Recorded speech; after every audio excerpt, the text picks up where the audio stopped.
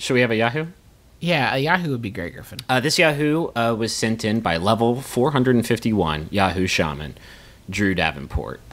Uh, it, it- this Yadrew was asked by Yadrew Answers user Sadie, who asks Haunted Corn Maze actor tips, please. I'm working in a maze this year, and my character is a saloon girl cannibal, and I can't think of anything to say. What would be scary to you? How about another bottle of sarsaparilla? Okay. Mm-hmm. So I'm not sure that a portmanteau is like. I know that that you're fucking terrified of those things. When people put two words together that should be apart, ah, no thanks.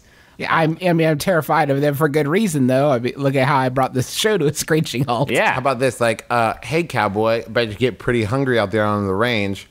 Care for a bite?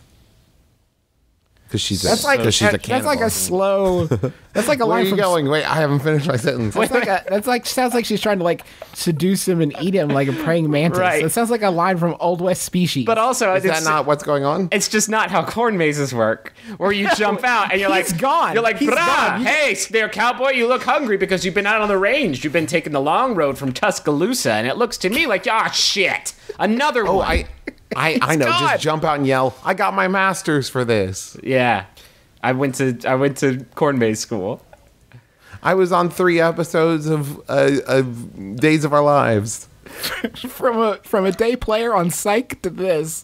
I why do you need characters in a corn maze? Well, a corn a corn maze is the fucking scariest imaginable place that you can be. A, you could die in there. You could just get lost and die in there. It happens every year. There's like 30 deaths. It's like more than um, more than shark bites. Um, B And way more than Shark Tank. B It corn- goes, it goes corn maze, Corn shark mazes, attacks, shark attacks, and then attacks, pop machines falling pop over machines on falling people. over on people. That's exactly right. B corn is the scariest vegetable. It looks like a knife. it looks like a knife. It's got a fucking hilt. It has its own scabbard, so maybe a sword. Knives typically don't have scabbards or hilts. Um, C scarecrows. Right. It's just there. It's just right there. I, I just I mean- why not why not just like wear a scary mask and jump out? Do you think the guy who invented the scarecrow, like on the day he invented it, he was like, "Ah, that's pretty." Uh, and he invented it during the daytime, and he was like, "I got to figure out something to do to get rid of these crows." Wait a minute, I got it. I'll make a scarecrow, and he made it up in the daytime. He was like, eh, pretty good invention, old timey man. I think I crushed it." And then that first night, he looks out the window, is like, "What the fuck have I done? this is the scare. Hey, Martha, come look at this shit." I'm losing my mind. Look what I did. I made the scariest thing ever. So We now I'm a I'm a nightmare weaver, Martha. I'm a nightmare Martha. weaver. I am Edgar Allan Poe. I made a I'm- I made a scare human. Is what I I'm made. S- I'm Stephen King, senior, senior, senior, and I can't believe I just created this terrifying vi- vision. I was at Home Depot the other day buying a, a, a fire pit, and uh, they had their you know they had their autumn regalia out, and there was a fucking scarecrow that was just like propped out in the garden section, and there were actually crows on it, like actual crows just like chilling. Pretty good oh, scarecrow. Pretty good job, inventor of the scarecrow. You invented things that can only scare humans and nothing else. Well done, sir. No, the world wasn't scary enough. Let's go ahead and get more stuff and make sure that we surround it with knife shaped produce. Terrific job. The worst part about that is that guy had to watch all the time to see if it was working. He mm-hmm. just had to stare at that thing. Maybe set up like an old timey lawn chair next to it and just see if the crows were. And coming. eventually they became friends. I lost a shoe in a corn maze once. Do you remember those books that like you used to buy at the Scholastic Book Fair that were like Scary Story Six or whatever? yeah, Goose they were- goose pimples. They were scary as fuck. There was some one about like a, a scarecrow that like peeled people's skin off and laid it out to dry on a barn or some shit. yeah, and but it was actually Richard Gere dressed Mm-hmm. up like a scarecrow.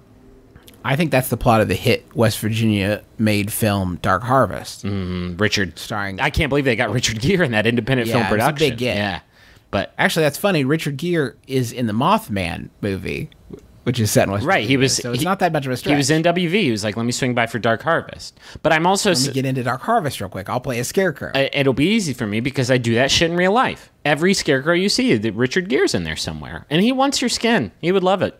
He would love nothing. That's how he stays looking so young. He would love nothing more than to take your skin, put it on himself, get rid of those fucking William Daniels wrinkles. When he does that charming Richard Gere wink, that's his eyelid skin falling off. Mm-hmm. And he's trying to scoot it back in place. There's a there's a special motion graphics designer that works on every fucking film he's in that has to edit that shit out. That has to edit off this edit out the sloughing of his skin to the floor. Guys, if one celebrity besides Richard Gere had to be every scarecrow, mm-hmm. which actor or actress do you think would be is like the most like a scarecrow? I think Jeff Goldblum is very much like a scarecrow. Well, that's not fair. No, he's like a he's like an American treasure. I love Jeff Goldblum. Are you saying because he has the dimensions of a scarecrow? Is that what you're saying? Because that's that's I'm- hateful. I'm just saying if it turned out he was a scarecrow the whole time, I wouldn't be surprised. Buscemi too.